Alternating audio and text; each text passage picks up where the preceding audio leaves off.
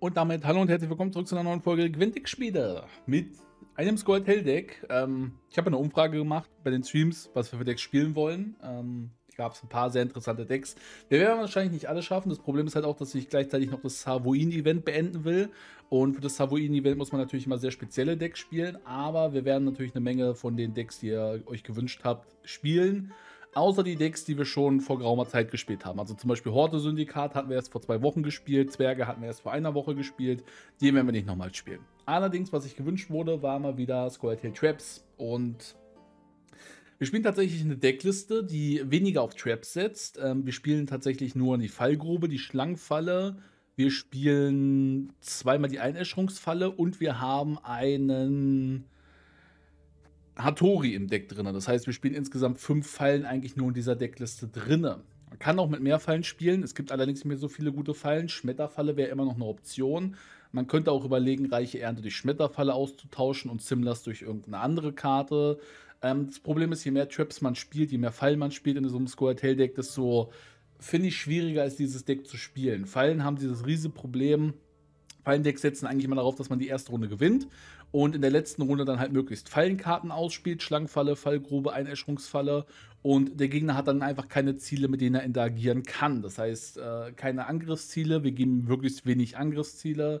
Und er hat vielleicht nicht so viele Ziele, die er, wenn er irgendwas braucht, selbst assimilieren mit den jungen Vögeln der Informantin oder der Herzogin oder sei es halt für Terranova irgendeine Karte Spionage geben. Da wollen wir ihm möglichst wenig gute Ziele geben, dass er damit nicht äh, interagieren kann und so sein Deck wirklich hundertprozentig gut benutzen kann.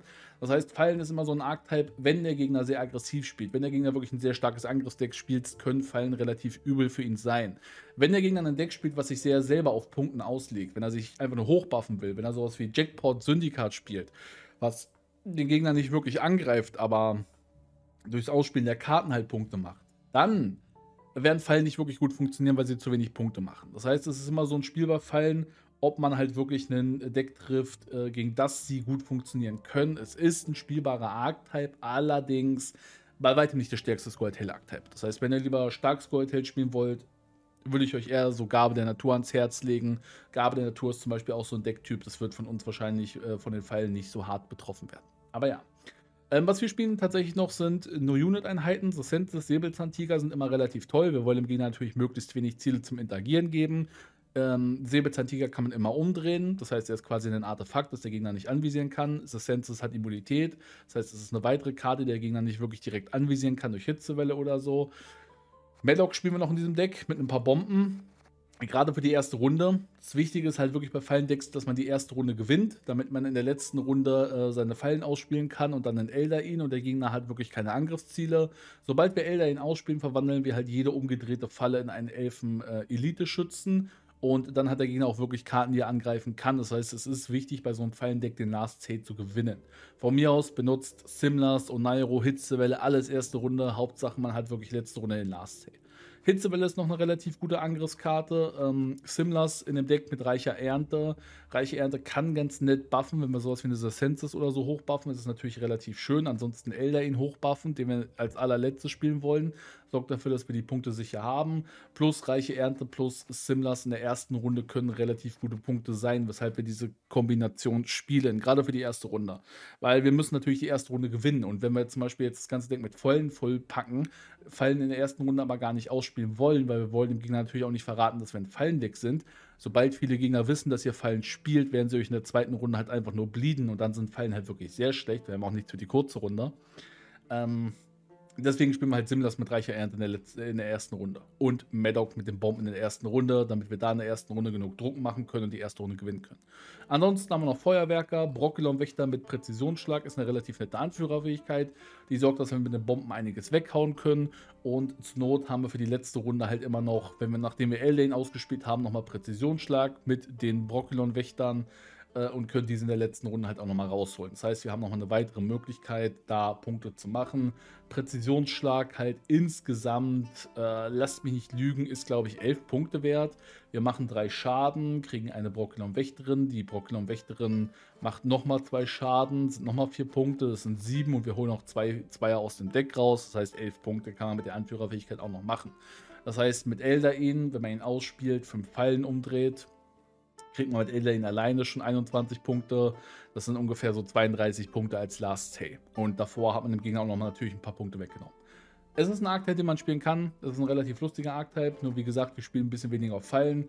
Es gibt viele Varianten, wie man Fallen spielen kann. Wir haben es jetzt in der Variante mit Medoc gespielt und Simlas. Es, ähm, es, gab Leute, die haben gesagt, man kann Fallen auch mit Elfen spielen, was auch durchaus möglich ist. Haben wir auch früher gemacht äh, mit dem Szenario. Und dann hast du noch so Karten wie ähm, Scharfschützenhinterhalt als Anführerfähigkeit. Hast auch Eldain, hast aber noch Venossil, dass du halt wirklich mit dem Elfen-Elite-Schützen ein bisschen mehr anfangen kannst. Ist auch eine Möglichkeit, wie man Fallen spielen könnte. Man könnte Fallen rein theoretisch aber auch mit Guerilla-Taktik spielen und könnte einfach mit den Schmetterpfeilen und der Anführerfähigkeit Karten in eine Reihe verschieben. Da gibt es viele Möglichkeiten, wie man Fallen spielen kann. Aber wir haben die Variante genommen. Und wie es funktioniert, könnt ihr euch ganz gerne angucken. Viel Spaß bei den Runden.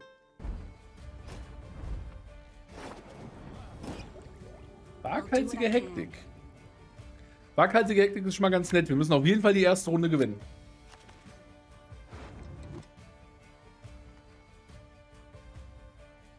Das mit der Hand ist relativ bescheiden.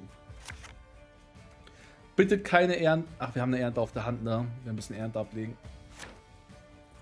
Zwei, wir haben drei Karten auf der Hand, die wir nicht spielen wollen. Eigentlich mehr. Wir wollen unsere Fallen nicht spielen. Das heißt, wir haben drei Fallen auf der Hand, vier Fallen auf der Hand und wir haben Brockilon Wächter auf der Hand. Ay.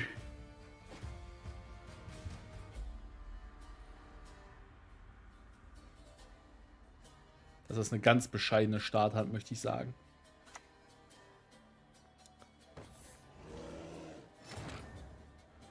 Okay. Fangen wir mit einer Maxi. Wir ziehen ziemlich gut nach, muss ich sagen. Also wir ziehen Säbelzahntiger und Senses nach. Ja, nehmen wir. Geht auch mit Reisegefährten. Reisegefährten kann unser Ticket sein, dass wir die erste Runde gewinnen, wenn er Reisegefährten am Anfang nicht rausholen will.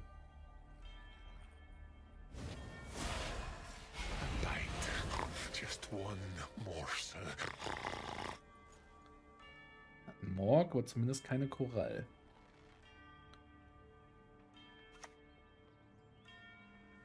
Trüffel.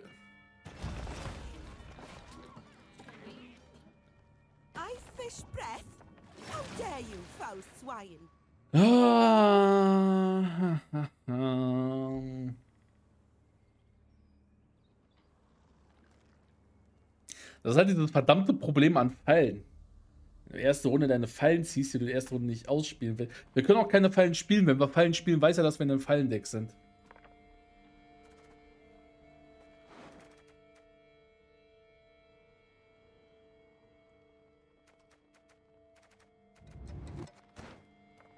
Okay, wir benutzen Simlas. In Ernte. Jo, wir kriegen die drei Perfekten raus kriegen eine Zauberin immerhin raus. Ich denke, die Zauberin wird aber auch nicht lange überleben.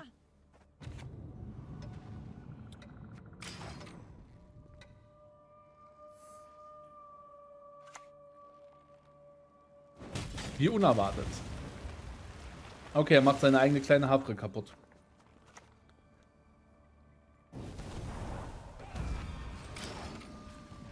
Komm schon, Madawk, fang den Regen ab.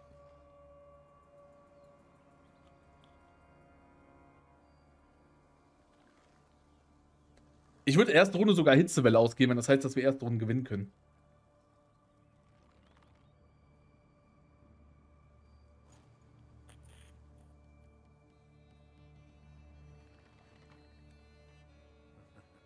Größte Problem sehe ich nämlich, wenn er uns pushen will. Kursia oder so hat zu viel Tempo für uns.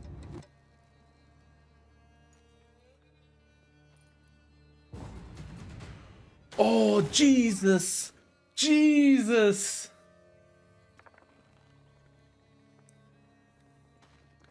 Easiest win of my life. Okay. Was holen wir raus? Was brauchen wir absolut nicht? Wir brauchen eigentlich nur was, was Punkte macht. Wir machen ihm nochmal drei Schaden. Das heißt, jede standardmäßige Karte würde ausreichen.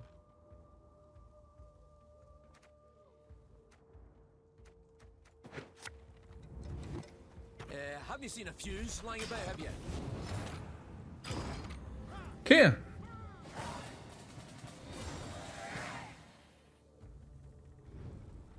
Wir ziehen The Senses, wir ziehen Säbelzahntiger. Ich denke, seine Anführerfähigkeit wird trotzdem nicht ins Leere gehen.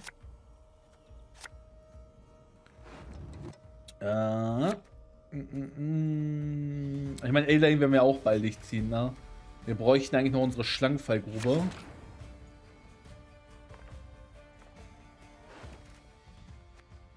Ich glaube sogar, ich bin so heimtückisch und spiele The Senses diese Runde aus. In der Hoffnung, dass er irgendwas benutzt, um diese Karte anzugreifen, was er sonst für später hätte gebrauchen können.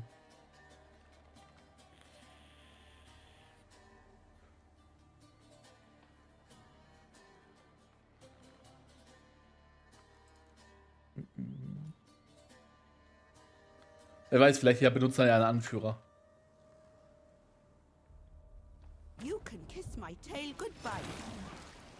Okay.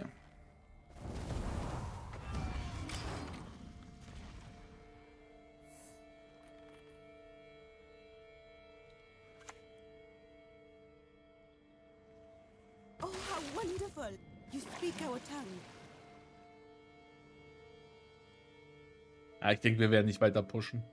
Ich bin mal gespannt, ob wir eine lange Runde gegen waghalsige Hektik überleben.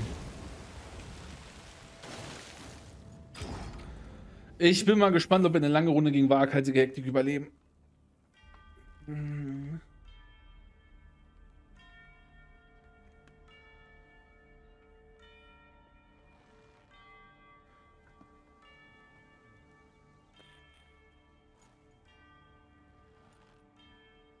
Aber bis auf Hattori müssen wir momentan nichts zum Angreifen geben, ne? Vielleicht hätten wir sogar die, die Meritimus-Bombe aufheben sollen. Der wird auch bestimmt Saber Lemons spielen.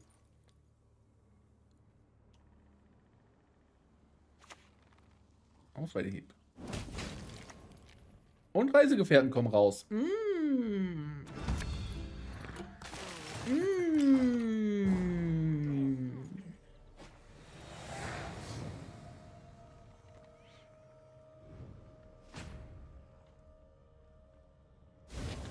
Unitless Traps, mein meistgehasstes Deck. Okay, wir ziehen zwei, drei Karten, die wir nicht ziehen wollen.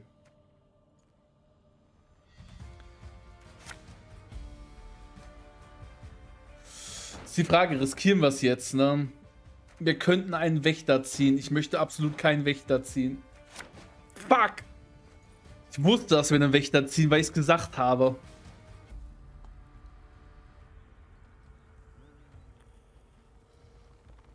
Aber wir hätten es nicht riskieren sollen. Das sind sechs Punkte extra, die uns flöten gehen. Ah. Mm -mm. mm. Warum spielen wir ohne Jorvit? Fallen erneut ausspielen, weil Jorvit sich nicht wirkt. Also, Jorvit ist an sich keine schlechte Karte, aber provisionstechnisch kriegen wir nicht mehr rein. Any last words?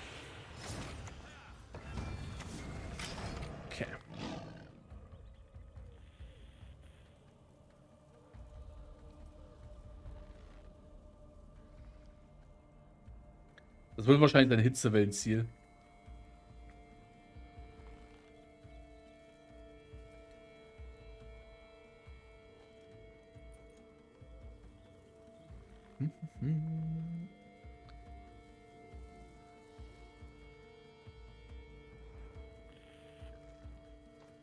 Ich muss sagen, das ist wirklich die unspektakulärste Runde. Mal, jetzt komm, mach hinne. Du spielst waghalsige Hektik. Was musst du da großartig überlegen? Birna. Schmetterfalle wäre vielleicht doch noch ganz nice gewesen, so.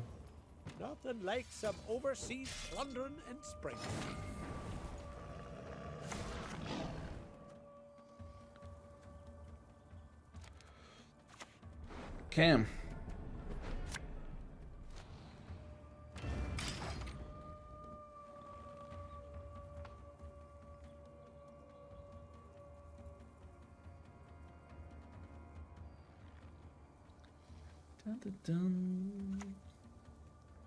Maxi. You can run, you can hide, but I'm gonna get you. Dann spielen wir dich aus. Er würde jetzt wissen, dass die eine Karte die Schlangenfallgrube ist. Trifft eine Entscheidung. Fukusia. Ah. Ich meine, Fukusia kriegen wir immerhin weg. You shall never find peace. Beautiful pair of legs, please. So, können Eberhard Tatorima. to outshine all others. Ich glaube, wir nehmen uns Fallgrube.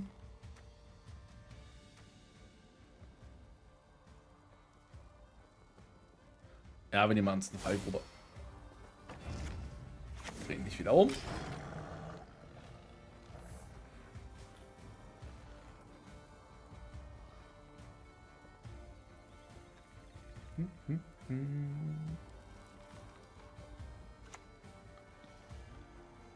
Gerald Quent. Das ist ziemlich gut für die Fallgrube. Das sind 10 Schaden, die wir aufteilen. Er hat einen toten Gerald Quen. Läuft ja echt Premium zwischen uns.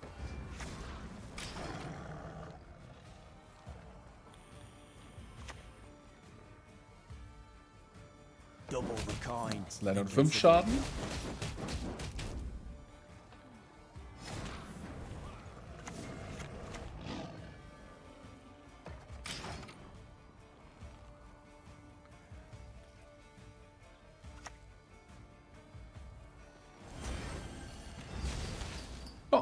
Okay. Nehmen wir hin.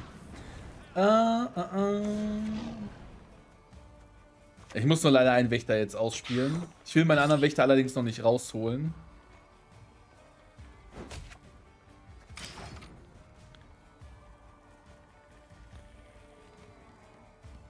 Dun, dun, dun, dun.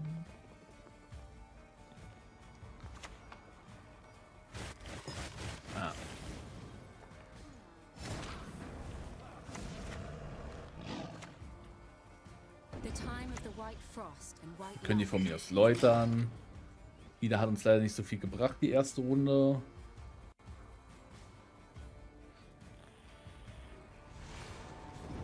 Ich meine, die Karte würde er komplett weghauen, aber es ist egal. You not. You never know which contact's gonna kill. Okay. Drehen Säbelzahntiger nochmal um. Nehmen ihm den Axi weg. Und die letzte Karte, die wir haben, ist Eldain mit dem Hitzewelle. Ah, sieben Punkte. So. Eins, zwei, drei. Da hätten wir natürlich noch sechs Punkte mehr haben können, aber mein Gott. Reicht trotzdem aus, weil er hat nichts zum Angreifen. Er hat nichts zum Angreifen gehabt. Er hat aber auch den toten Quen gehabt, ne? Der tote Quen war für ihn natürlich relativ doof. Für uns war doof, dass wir allerdings auch einen Brick hatten mit der 6er. Das ist. ich meine, man kann Fallen spielen, aber das war jetzt gerade irgendwie so ein re- extrem unspektakuläres Matchup. Da ist ja nichts passiert.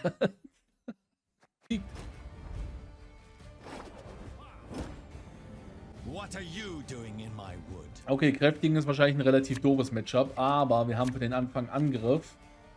Und den werden wir wahrscheinlich auch benutzen, ne?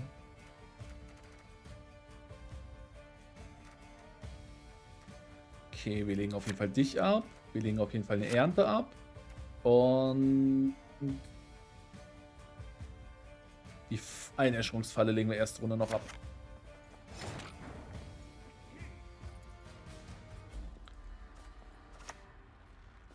Uh-oh. Okay. Mm -mm -mm. Bei der Reise klappt es, bei dem Moom hat es bei mir, glaube ich, nie ge- gemacht. Bei mir hat es bei dem Moom einmal gemacht, aber ich weiß auch nicht, warum sie es manchmal nicht machen und manchmal nicht. Aber es ist halt doof, wenn du jetzt noch eine Quest hast, so musst noch einmal Schaden zufügen, dann wird nicht direkt die nächste gemacht, äh, getrackt, ne?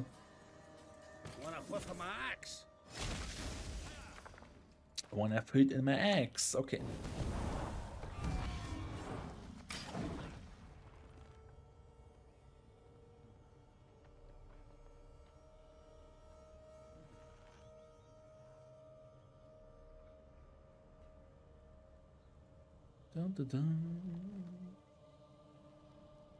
Ich meine, ich kann zur Not auch mit Simlas Doppelbombe rausholen. Das ist auch eine Option.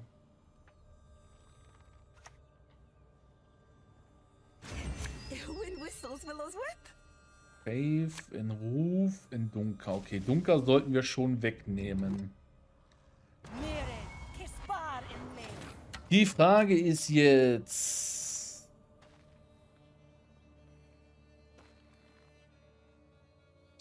Was trifft unser Feuerwerker? Oh! Ja, gut. Äh, dann... Ich möchte den Säbelzahntiger halt absolut nicht buffen, ne? Ich glaube, ich benutze sogar einfach hier mal zwei Schüsse. Spiel erstmal dich aus. Hen Iker. Ted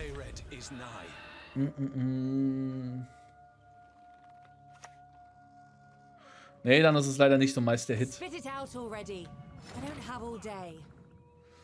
Ja, ich will absolut den Säbelzahntiger nicht verbessern. Aber das kriegen wir wahrscheinlich trotzdem hin. Das ist sehr gut. Damit buffen wir Hattori. Damit buffen wir die Karte ganz rechts in der Hand. Das wäre Ida, aber es ist mir trotzdem, glaube ich, am liebsten.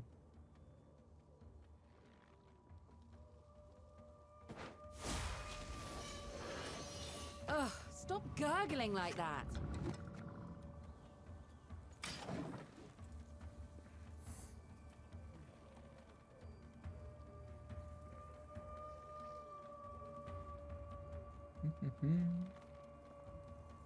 Ich meine, wir haben jetzt drei gefährliche Karten, die er irgendwie weghauen müsste.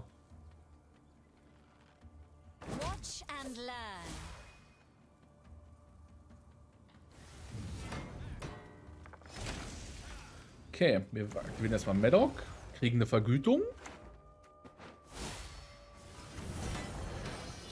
Kriegen eine Bombe. Ah, reich er, das ist gut. Flüsterin. Oh, Flüsterin gefällt mir sehr gut. Flüsterin können wir nämlich noch relativ gut aktivieren. Ida hat jetzt 10 Punkte.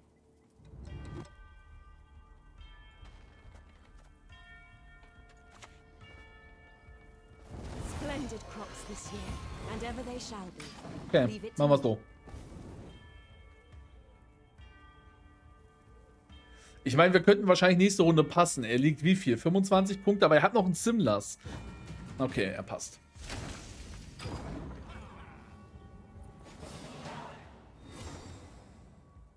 Jetzt ist halt die Frage, ne? wie Mio schon geschrieben hat. Das Problem ist halt, Fallen sind gegen Kontrolle gut, aber gegen Handler, die sich größtenteils um sich selber kümmern, da könnte es ein bisschen kniffliger werden.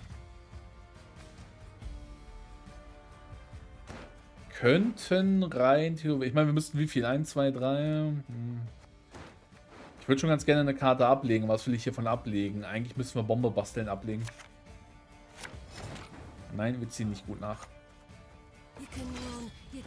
Okay, die Karten, die wir brauchen, sind ganz unten.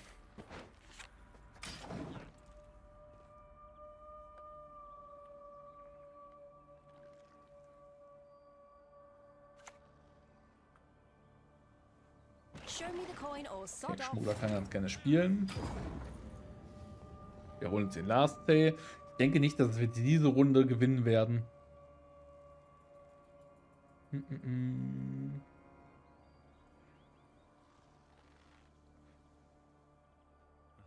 Bomben sind auch noch okay, Mios, aber das Problem ist halt trotzdem, dass wir Eldain und unsere Fallen haben wollen, ne? Da haben wir nicht wirklich Platz für Bomben in der Hand.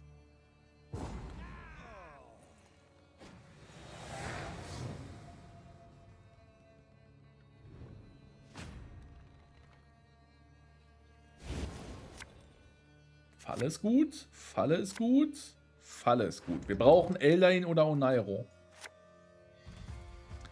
Wir brauchen Eldain oder Onairo. Danke.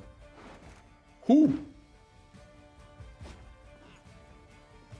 Äh, äh, äh.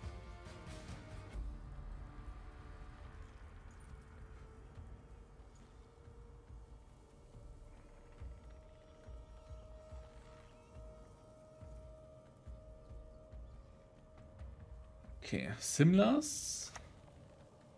Simla. Only one with no sense would trust the word of a dwarf. Die Zauberin können uns nicht viel anhaben, weil wir spielen nur Unit halt. Der kriegt zwei Zauberern. Das heißt, mit denen kann er zumindest keinen Angriff starten.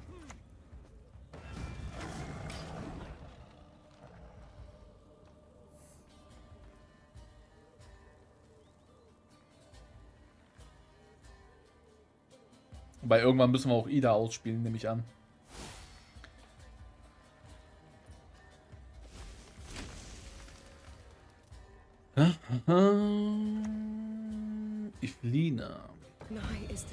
Of the Ich denke definitiv unsere letzte Karte wird die Hitzewelle werden.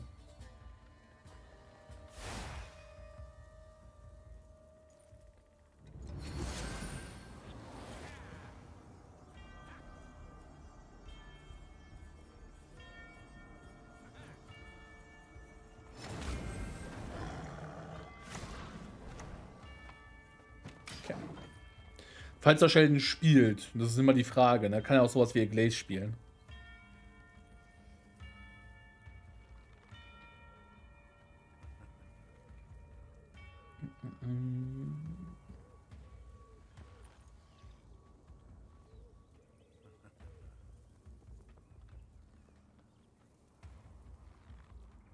Ich weiß auch nicht, ob die Falle ausreichen würde, um irgendwas zu zerstören. Das ist okay.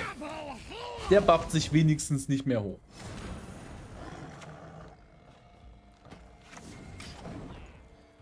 Aber rein punktetechnisch sieht's mau aus.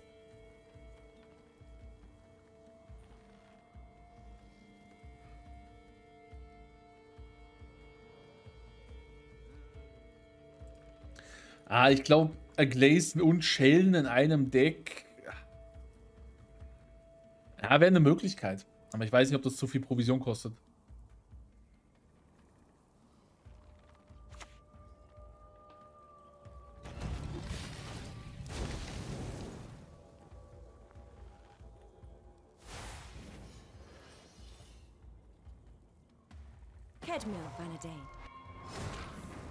Problem ist, Flüsterin würde ich eigentlich ganz gerne weghauen, weil die macht echt gut Punkte, wenn wir die am Leben lassen.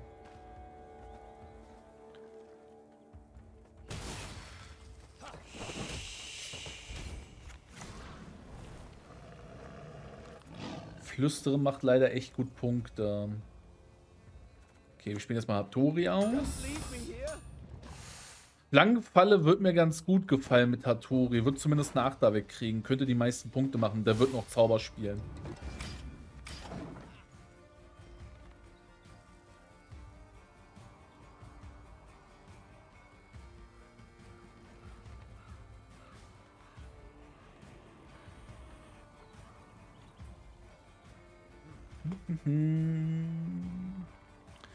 Sind Arena der persönlichen Liebe und Hüttengau? Die sind auch ganz alte Dinger, Platonius. Arena der persönlichen Liebe war damals Arena, da durfte man sich ein Arena-Deck machen. Und Hüttengaudi war damals so ein Special mit Shaiki, aber Shaiki äh, streamt leider nicht mehr. Katzenstreichen. Blackley ist leider gerade nicht hier. Ich weiß nicht warum, aber immer wenn ich streame, also wenn die Lampen an sind oder so, oder ich auch rede, dann haut Blackie ab, weil er weiß, dann kriegt er keine Aufmerksamkeit so richtig. Dann bin ich konzentriert auf den Chat. Blackie liegt hier am Boden hinter mir. Oh, das ist ganz nett. Da löst unsere Schlangenfalle neck.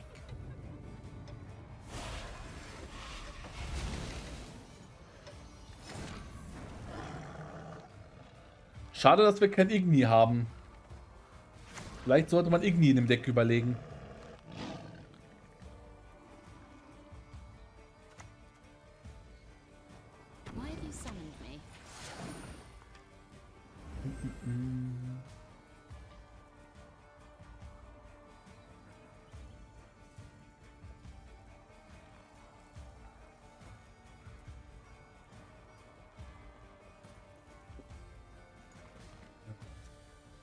Garnieren. Ah, ich würde Arena auch nicht als Top-Spiel-Modus bezeichnen. Das Problem ist halt, Arena Draft sind im Prinzip ziemlich ähnlich, aber. No mercy! Ah, ja, ein Shane's Kicks. Aye, aye, soon as I finish my pint.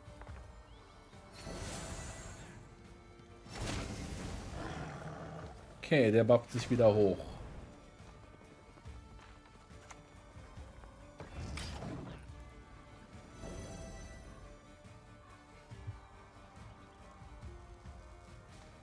Also ich denke, er wird Last Hair Glaze haben, aber die können wir mit Hitzewelle treffen.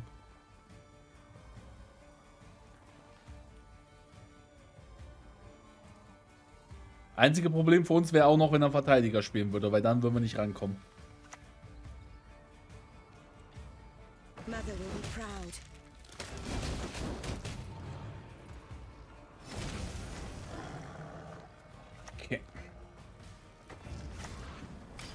Eigentlich müssen wir Säbelzahntiger gar nicht umdrehen. Das lohnt sich nicht wirklich. Es sei denn, er spielt Igni. Alleine für Igni wird es sich lohnen.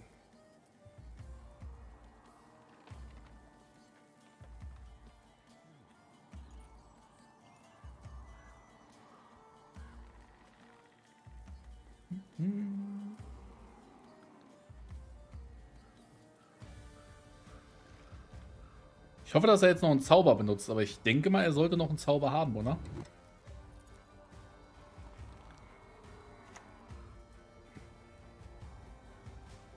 I'm watching. Always.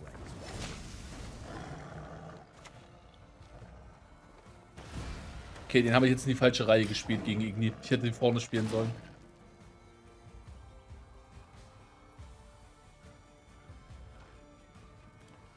Bitte lass ihn noch einen Zauber haben. Wird es noch weitere Folgen zu Inscription geben? Ja, wird es noch geben. Allerdings erst nächste Woche, Stiebchen. Also Inscription wird nächste Woche weitergehen. Naja, ein Wächter. Kein Zauber.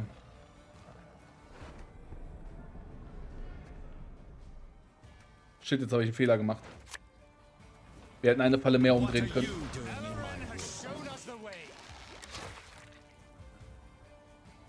Wo war mein schönster Urlaub? Boah, ich glaube, mein schönster Urlaub. Äh, ähm, so, okay, war die letzte Karte. Nee, das werden wir nicht gewinnen. Hey! Selbst so, ne? Okay, ja, das ist halt das Problem, wenn du mit Fallen gegen irgendein Deck spielst, was eigentlich wenig Angriff spielt oder nicht wenig angreifen kann, ne? Handbuff spielt jetzt viel Punkte an sich selber. Schönster Urlaub. Ich glaube, ich müsste sagen, schönster Urlaub war eigentlich damals in Bayern. Das Emote will ich zu nutzen wissen. Assimiliere. Step carefully. You're in my forest now. Gut. Simlas ist eine relativ super Starthand, wenn man davon absieht, dass wir dich ablegen müssen. Ich würde sogar eher noch die Brockilon-Wächterin auf der Hand behalten, weil die könnte man noch verbessern mit Simlas. Ich würde wahrscheinlich eher die Fallen ablegen. Ida ist für die erste Runde auch nicht verkehrt. Ich will keine Ernte ziehen. Hitzewelle. Okay. Dum, dum, dum, dum.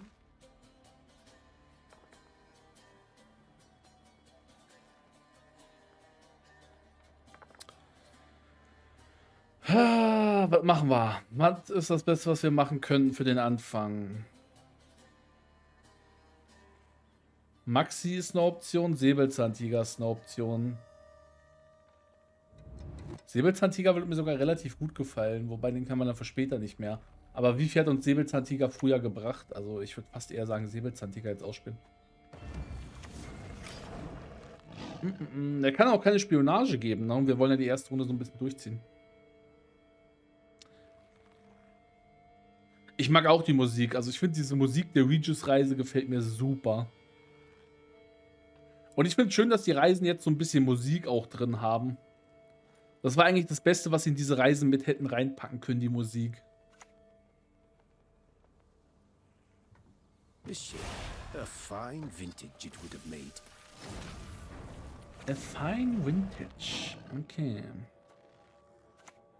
Rizziumsbombe.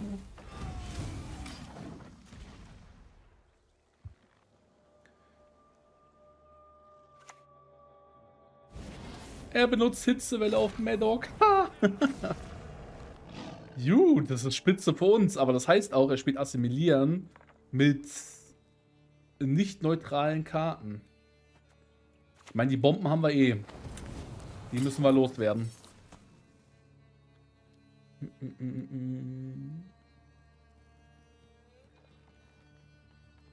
Ja, ich meine, die Aretusa-Reise haben sie ja gesagt, war so eine Reise, um mal ein paar Sachen auszuprobieren, ne? Wir hatten ja auch keinen Charakter, sondern wir hatten diesmal Spielbretter, ne?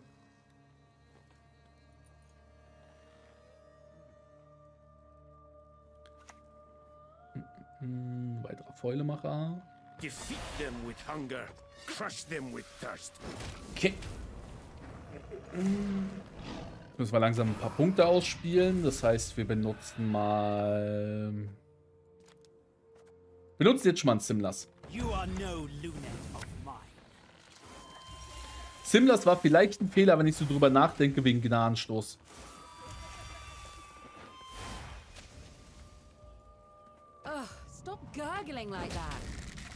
Simlas war vielleicht ein Fehler wegen Gnadenstoß oder er gibt der Karte halt Spionage.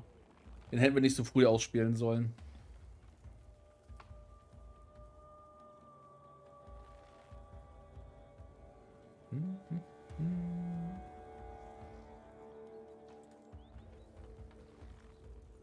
Finde es ein bisschen viel bei den Charakteren mit drei auf einmal. Ich finde es aber nicht schlimm, dass man bei Regis drei Charaktere auf einmal reingebracht hat. Ist auch mal ein neuer Versuch, ne? Ja. Da ist die Spionage auf Simlas. Das haben wir uns natürlich denken können.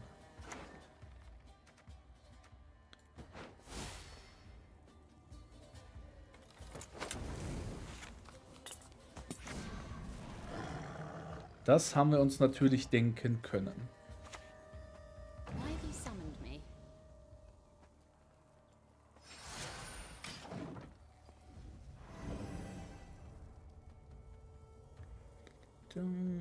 Ich muss auch sagen, ich habe früher Nilfgaard Assimilieren geliebt. Das war ein wirklich tolles Deck. Aber mittlerweile finde ich Assimilieren als Nilfgaard Archetype wirklich gar nicht mehr so schön. Vielleicht liegt es an Karten wie Terra Nova oder so, ne? Oder dass es halt wirklich momentan der stärkste Archetype ist, so. Aber. Ah, gefällt mir nicht mehr so wie früher. Essaya Darien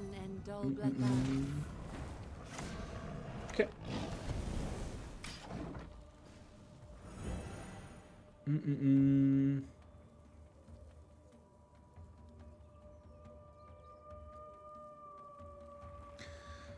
Animation, also ich meine, sie wollten ja mal, Animation ist schwierig bei Gwen. Sie wollten Animation tatsächlich mal reinbringen bei legendären Karten, wenn du legendäre Karten ausspielst. Das haben sie ja mal überlegt, ne?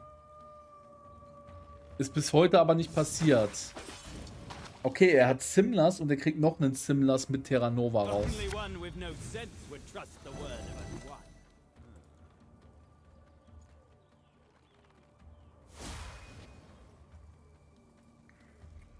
Nahkammer.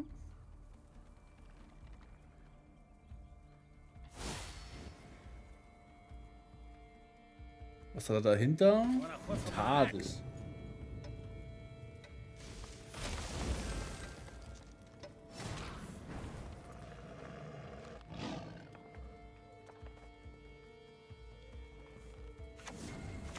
Okay, ich würde noch eine Maxi ausspielen. Ähm, wir ziehen Unalromat hier relativ früh nach. Wir ziehen zwar eine Brockenwächterin nach, aber die können wir ablegen. Dann müssen wir halt nächste Runde zwei von denen ablegen. Ich denke mal, die Auswahl ist okay. Zur Not benutze ich nächste Runde noch Hitzewelle, wenn es wirklich sein muss. Mm, mm, mm. Danke. Vorher war Assimilian auch sehr langsam im Aufbau. Also das langsame Aufbau, ja, also ich finde es gut, dass Assimilian ein bisschen Tempo bekommen hat. Ich muss nur sagen... Ähm, ja, wie soll ich sagen? Wie soll ich das jetzt sagen? Was mir per se an Assimilieren momentan nicht so gefällt, ich weiß nicht. Es dreht sich halt ziemlich viel um Terra Nova. Das ist vielleicht, dass wir das, das halt wirklich assimilieren jetzt. Früher war assimilieren, du konntest mit jeder Assimilierungskarte, wenn sie überlebt hat, ziemlich viele Punkte machen. Das war relativ cool. Mittlerweile dreht sich halt sehr viel einfach nur um Terra Nova und ob du ein gutes Spionageziel kriegst, ne? Und dann guten Terra Nova spielen kannst. So, das ist assimilieren heutzutage. Und das finde ich irgendwie ein bisschen langweilig.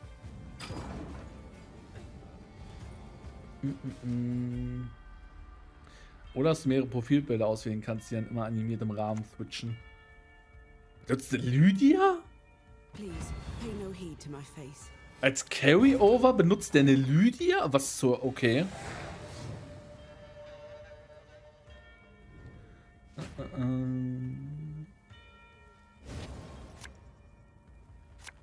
Okay, wir haben Eldain. Wir haben relativ wenig Fallen, ne? Wir haben zwei Fallen. Wir haben noch drei Fallen im Deck und jetzt ziehen wir unsere Brockelon-Wächterin nach. Nein, wir ziehen eine Falle. Ich meine, wir können uns noch eine Falle rausholen. Das heißt, wir haben eine Falle gemisst.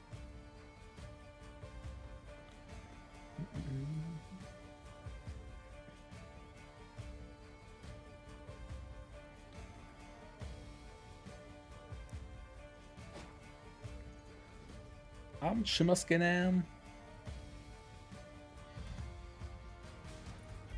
Assimilieren mit Spiegelmeister war früher auch ganz lustig. Spiegelmeister ist allgemein eine ziemlich interessante Karte, aber sie ist halt wirklich... Ich finde es schön, dass sie mal so eine Karte versucht haben, so, so eine Meme-Karte, ne? Und ich meine, man könnte Spiegelmeister auch rein theoretisch nochmal ausprobieren, so. Wirklich verkehrt ist er ja eigentlich nicht.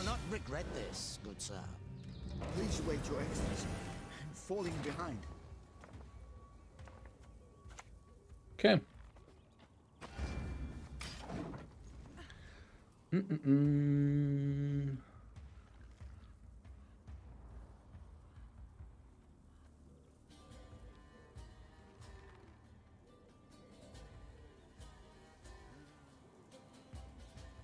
Der ist immer nur so laut, wenn er aufs Feld kommt. Highly curious case. Illusions. Da ist der. Artorius weg.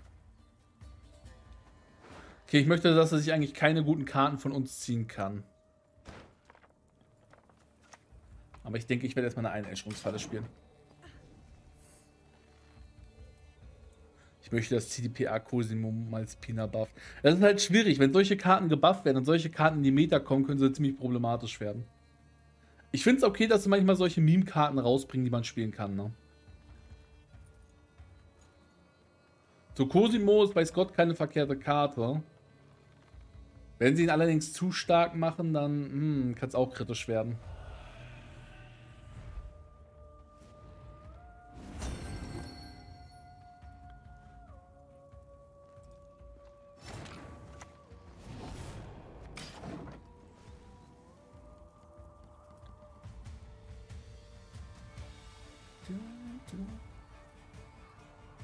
Okay, wir spielen als nächstes so Nairomantie aus und dann Senses. Ich möchte, wie gesagt, dass er keine gute Karte von uns kriegt.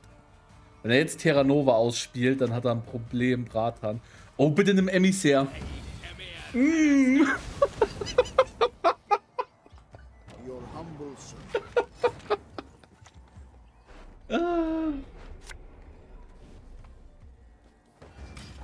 Der arme Junge. Bratan ausgekontert durch eine Einäscherungsfalle. Ah, das ist doof. Unsere. Fallgrube dreht sich jetzt schon um und macht keinen Schaden.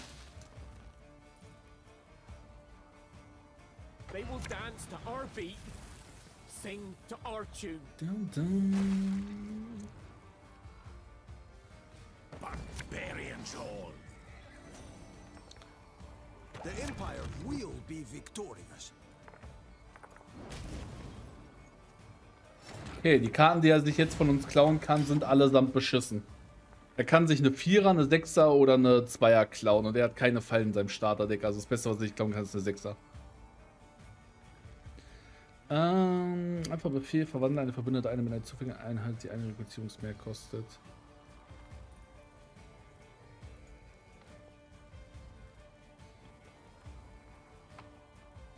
Äh, ja, das wäre auch nicht wirklich schön für ihn. Dann wäre er nicht unbedingt besser, als dass er es jetzt ist, ne? Schwierig. Schwierig. Ich denke mal, er wird noch einen Terra Nova haben. Also wir holen uns noch mal eine weitere Fallgruppe. Frage ist, ob ich meine Anführerfähigkeit benutzen möchte, um die folternde Magierin zu... Oder ich benutze jetzt die Fallgrube, oder? Ach, wir sparen uns die Anführerfähigkeit noch auf.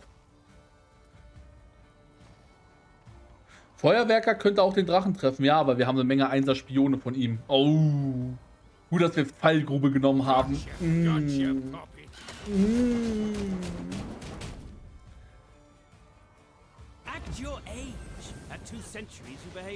Barely Und er kriegt nur Shit von uns. Charge 3 habe ich vergessen. Dann wäre es wiederum zu stark, Platonius, weil du könntest ja dreimal dieselbe Karte verwandeln, ne? Das könnte dann halt problematisch werden, wenn du dreimal dieselbe Karte verwandelst. You?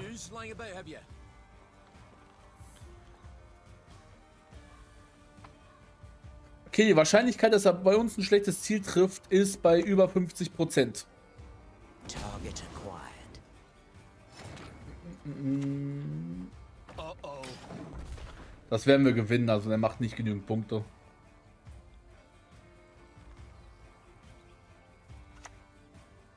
Ah, ja, Natürlich, er trifft nicht die Einser oder die Karte mit Rüstung, er trifft die einzige Karte, die er gut hätte treffen können. Aber ist auch vollkommen egal, weil wir haben gewonnen. Der Bratan in die Einäscherungsfalle und der Terra Nova in die Fallgrube war zu kritisch. Okay. Ja, Fallen sind, also wie gesagt, Fallen ist eine Archetype, man kann ihn spielen.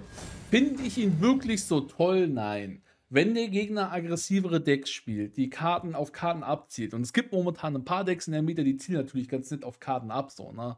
Also wenn er zum Beispiel gegen Assimilieren spielt, er kann sich halt nichts von uns klauen. Wir geben ihm keine Einheiten, keine Informanten. Und wenn du dann noch die Fallen Bratan, Terra Nova auskommst, dann kannst du Assimiliert auch nicht wirklich hoch. Dagegen kann es halt relativ toll sein. So. Weil auch Assimilieren braucht ja mittlerweile Ziele, wo man Spionage setzen kann oder die man klauen kann. Gegen waghalsige Hektik oder so kann es vielleicht noch relativ nett sein. Aber sobald du auf ein Deck triffst, was sich halt eigentlich größtenteils nicht um dich kümmert, dem es egal ist, dass du keine Einheiten wirklich ausspielst, ein Deck, was sich nur um sich selber bufft, da ist, sind Fallen wirklich nicht gut, die machen viel zu wenig Punkte. Es ist halt wirklich ein sehr spezielles Konterdeck so. Es ist stark, in manchen Matchups ja, ist es wirklich empfehlenswert, damit zu spielen, wenn man sie lustig findet. Aber wenn man wirklich hochpushen will, ah, weiß nicht, gibt vielleicht bessere Optionen. Ne?